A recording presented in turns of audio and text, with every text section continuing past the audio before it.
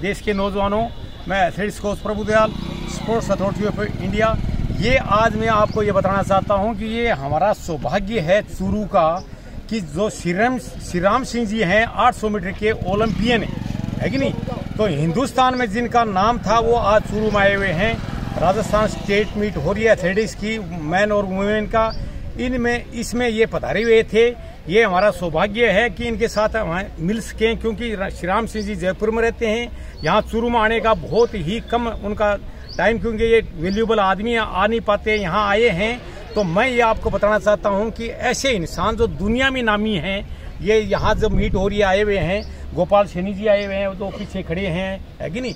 तो ऐसे जो आदमी जो इतने अपनी जीवन के अंदर इतनी हार्ड मेहनत करके दुनिया में इतना नाम कमाया है आज कल वो छुपता हुआ जा रहा है। किसी को पता नहीं है, यंग जनरेशन को पता नहीं है कि ओलंपिक में हमारे 800 मीटर के धावक कौन थे ओलंपिक में जिसने हमारा देश का नाम रोशन किया है।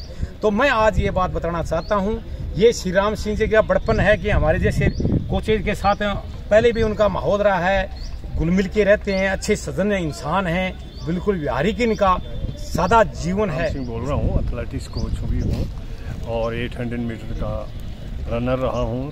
तीन एशियन गेम्स हैं तीन ओलंपिक्स खेले हैं और मुझे बड़ी खुशी हुई है कि मैं यहाँ यहाँ चूरू में आया हूँ और यहाँ सीनियर राजस्थान स्टेट की मीट हो रही है। इसमें आकर के देखा है और ये बेल्ट है जिसके अंदर काफ़ी अच्छे स्पोर्ट्समैन दिए हैं। और आगे भी उम्मीद करता हूँ कि यहाँ से बड़े अच्छे अच्छे स्पोर्ट्समैन निकलेंगे।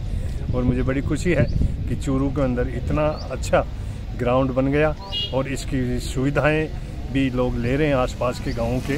तो ये एक बड़ी वजह है और यहाँ मैं चाहूँगा कि और भी यहाँ कोच लगाएँ और इसके ऊपर ज़्यादा से ज़्यादा ध्यान दिया जाए, यहाँ इससे ज़्यादा से ज़्यादा एथलीट यहाँ से निकलें और हमारा देश का नाम रोशन करें।